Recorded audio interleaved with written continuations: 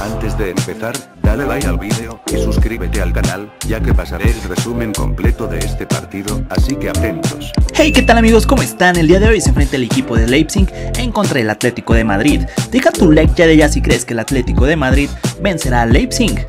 Y bueno amigos, llegó la hora de ver al único mexicano que queda en las competiciones. Así es, hablamos de Héctor Herrera.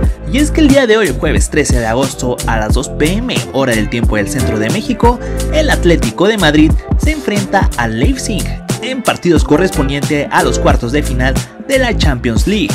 Cracks, cabe destacar que este es partido único y también se disputará en Portugal en el estadio La Burbuja de Lisboa.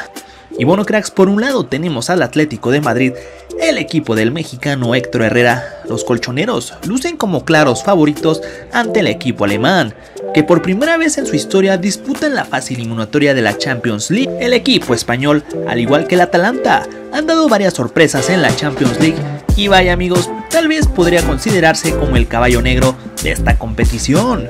Y es por ello que hoy trataré de sacar los tres puntos y de ganarle a Leipzig. Por su parte, el equipo de Leipzig llega a cuartos de final, luego de dejar en el camino al Tottenham, ya que lo golearon 4 a 0. Y por otro lado, amigos, el Atlético de Madrid eliminó en los octavos de final al vigente campeón. Así es, cracks, venció 4-2 a Liverpool. Y bueno, amigo, tú que me estás escuchando, tal vez te estás preguntando, ¿va a jugar Héctor Herrera o tal vez no va a jugar? Y la respuesta es que sí.